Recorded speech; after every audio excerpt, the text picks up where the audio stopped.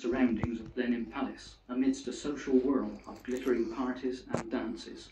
On one of these occasions, she met Frederick St. John, or Bully as he was known to his friends, who were teasing him about being a bachelor.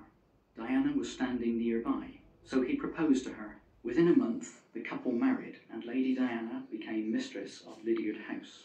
Sadly, the marriage ended in a sensational divorce. Lady Diana felt that she could no longer live with Frederick with safety to herself, although she was at the time romantically involved with Topham Beauclerk, who she went on to marry.